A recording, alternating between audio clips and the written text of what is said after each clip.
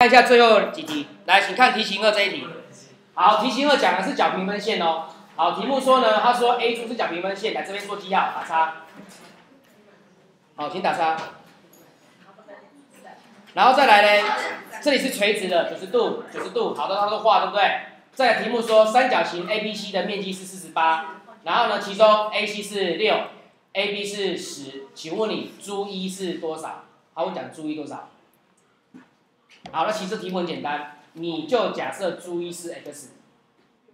好，我问你哦，注一如果是 x 的话，朱为辅会不会也是 x？会，为什么？因为我们曾经学过，角平分线上任意点到两边会怎样？等距离，所以这两个都会等于 x。这样子，好，会了哈。接下来注意看哦，我很快讲完了。请问你，三角形 ABC 的面积会等于谁加谁？你认为会等于 AB 珠加 AC 珠？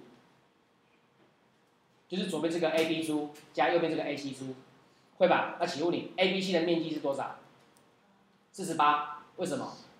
题目说的，理解说的不用算，对不对？好，那请问你 AB 珠的面积怎么算？AB 珠的面积，左边这个，是不是底乘以高除以二？那就是十乘上 x 除以二，加上 AC 珠这个呢，也是一样，底乘以高除以二，六乘以 x 除以二，解 x 答案就出来了。所以答案很简单，这是五，这是三。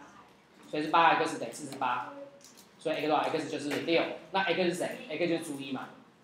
所以答案出来了，朱一就是六。好，讲完。好，你看一下。